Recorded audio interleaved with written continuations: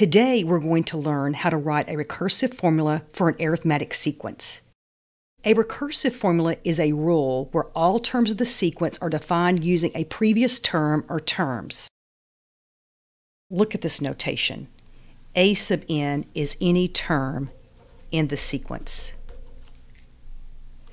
A sub n minus 1 is the previous term.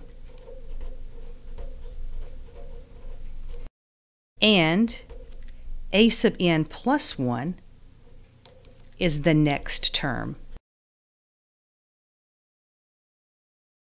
To get you to see this better, I'm going to use an example of a sub n as a sub 6.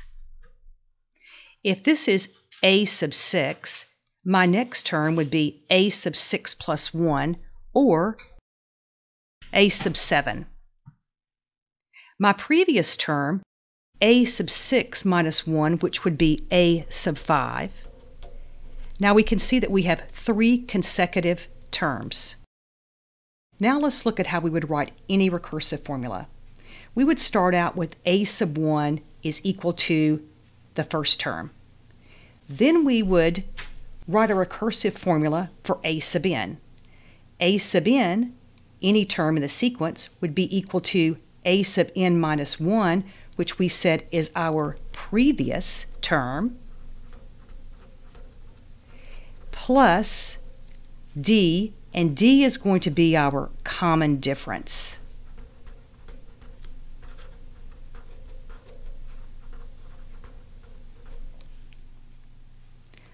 Let's look at this example.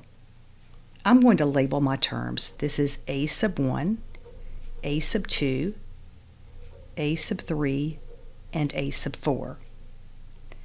I first need to find what is my common difference. From 9 to 14, I added 5. From 14 to 19, I added 5. From 19 to 24, I added 5. 5 is my common difference.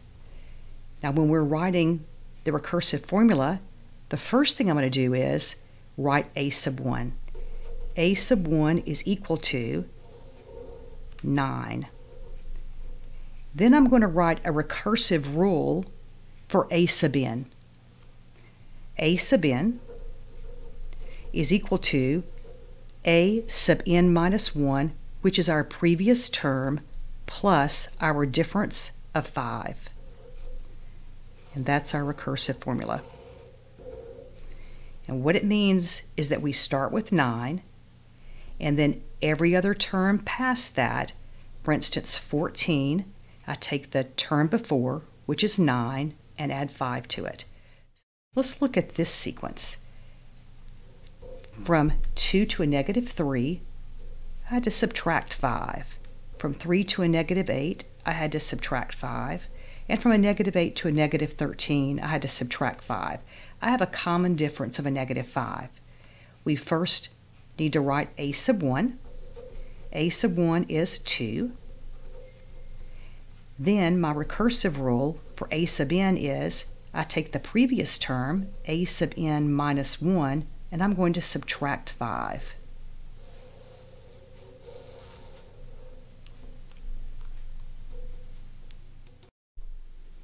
Write a recursive formula or rule for the sequence.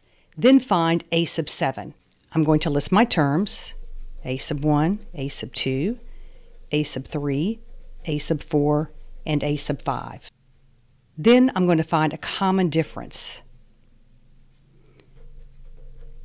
Plus 4. I'm going to add 4. I can see that I'm going up 4 each time. So my common difference is 4. To write a recursive formula, I first of all write a sub 1. a sub 1 is 11. Then I write a recursive rule for a sub n a sub n is equal to a sub n minus 1, which means the term before, plus the common difference, or minus the common difference. In this case, it is going to be plus 4. Now I'm supposed to find a sub 7. a sub 7. Well, I know that a sub n, which means any term, plus the common difference, will give me the next term, a sub n plus 1. So if I'm looking at a sub 5 as being a sub n, a sub 5 plus my common difference, which is 4, will give me a sub 5 plus 1 or a sub 6. a sub 5 is 27 plus 4, and that's going to give me 31.